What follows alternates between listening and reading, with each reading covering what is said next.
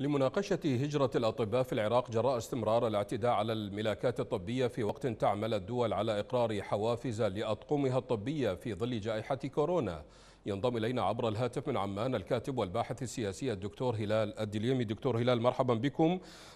يعني لجنة الصليب الأحمر الدولية تستنكر أعمال العنف ضد العاملين في القطاع الصحي.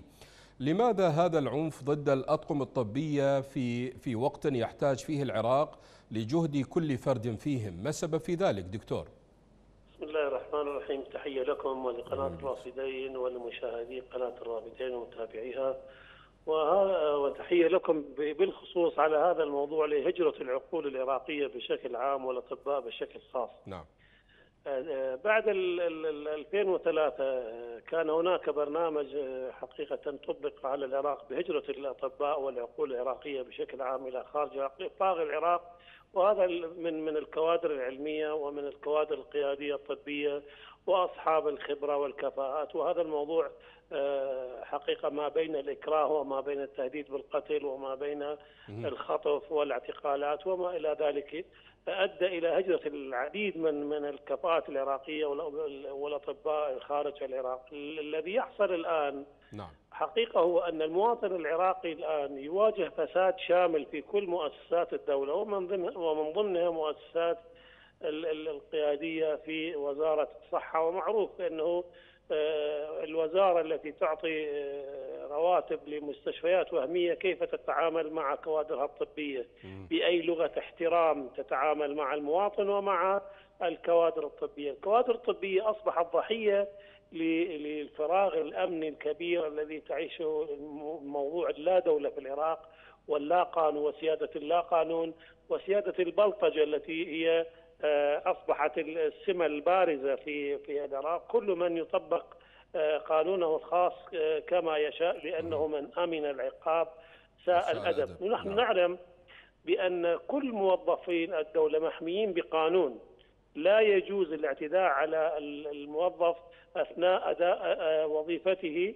وهذه جريمة يحاسب عليها القانون في كل دول العالم ومنها ومنها القانون العراقي الذي كان يحترم الموظف وكانت هناك المستشفيات في كل مستشفى وفي كل دائرة صحية هناك مركز شرطة أو دائرة أو نقطة حراسة أمنية تحمي المركز أو المستشفى وهذا معمول به في كل العراق. الآن لا لا توجد هذه الحماية وإن وجدت فهي ليس ذو تأثير. طيب. مهم على الحدث لكي تؤمن الحماية للموظفين وخاصة الأطباء في هذا الوقت.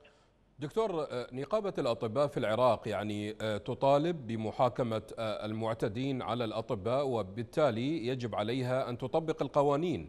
لماذا لم تتحرك الحكومة لحماية الأطقم الطبية؟ ما السبب في ذلك؟ ومن الذي سيقوم بتحريك الدعوة القضائية على على هؤلاء المعتدين على الأطباء؟ يعني هذا هو السؤال. هل هي نقابة الأطباء أو هو الطبيب نفسه؟ م. الجانب الثاني هو أين القضاء؟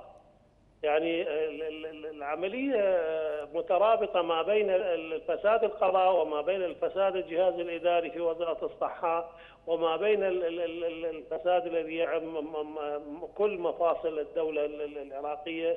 إذا هناك فراغ أمني وهناك أناس فوق القانون وهناك دولة عميقة تتحكم في في في كل شيء في العراق. وأي شخص يعتدي الآن على أي موظف أو أي مواطن وهو من الميليشيات أو مدعو من الأحزاب أو مدعو من الكتل السياسية أو مدعو من الشخصيات التي أتت بعد الاحتلال وأصبح لها ميليشيات تحميها وسياسة كل فرد له عصابة. أعتقد أنه هنا نقف الجميع أمام موضوع غياب سلطه القانون.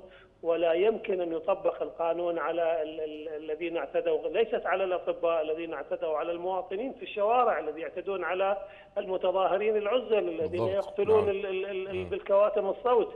إذا نحن أمام حالة من من الهستيريا في في عمليات الاعتداء يقابلها غياب للقانون فساد القضاء أو أو غياب القضاء تماما القضاء عاجز عن أن يأخذ دوره، لا توجد هناك جهات حتى في نقابة الأطباء من تقوم بتحريك دعاوى قضائية وتصر عليها. وتكشف الفاسدين الذين يتسترون على المجرمين الذين اعتدوا على الأطباء ولاحظنا بشكل مهين أنه يتم الاعتداء على مدير مستشفى وعلى طبيب وعلى صيدلي يقوم بواجبه في في وضع نحن بأمس الحاجة لخدمات هؤلاء الناس الذين ضحوا بحياتهم من أجل أن يقدموا خدمة للمواطن، هذا هو جزاء الطبيب. فبالتالي التفكير الطبيب بأن يبحث عن بيئة آمنة له ولعائلته ولعمله ويحترم في كل دول العالم إلا في هذا البلد، هذا السبب الذي يدفع الكثيرين بالتفكير بالخروج من العراق. وهذه كارثة ما بعدها كارثة لأن هجرة العقول تسبب تدمير شامل وتجهيل متعمد للشعب العراقي.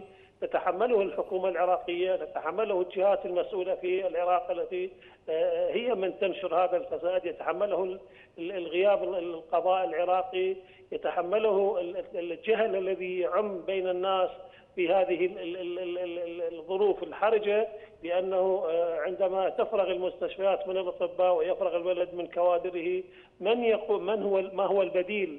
البديل هو التضليل والتجهيل وضعاف النفوس الذين يستغلون المواطن الذي بات حائرا ما بين وزارة الصحة التي بعيدة كل البعد عن الميدان الطبي وعن المهنية في التعامل مع الأطباء وما بين طبيب يتعرض إلى الاعتداء اليومي نعم دكتور. ولا يأمن على حياته، فهذه المفارقة حقيقة لم تحدث إلا في العراق. من عمان الكاتب والباحث السياسي الدكتور هلال الدليمي شكرا جزيلا لكم.